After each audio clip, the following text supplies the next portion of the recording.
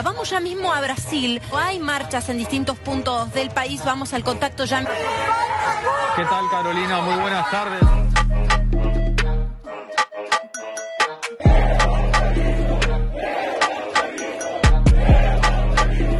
Y lo que piden es una intervención militar. Escucharon bien, una intervención militar con Bolsonaro en el poder.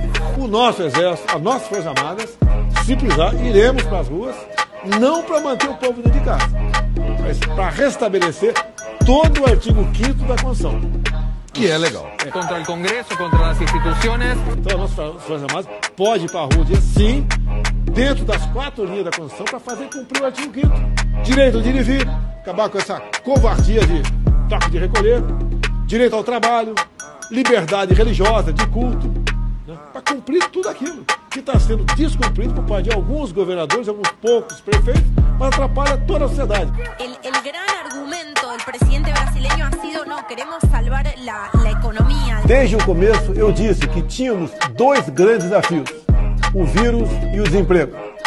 E em nenhum momento o governo deixou de tomar medidas importantes, tanto para combater o coronavírus como para combater o caos na economia, que poderia gerar desemprego e fome. Sigue minimizando el virus pese a los números terribles y trágicos que hemos tenido. Atrás mío ven manifestantes, seguidores del presidente Jair Bolsonaro, manifestantes que no creen en la letalidad del virus. E aí é o que o presidente está dizendo, nós precisamos ter as duas preocupações, a saúde, mas também o emprego, para as pessoas poderem se manter. Não adianta você se salva da pandemia e mais de fome.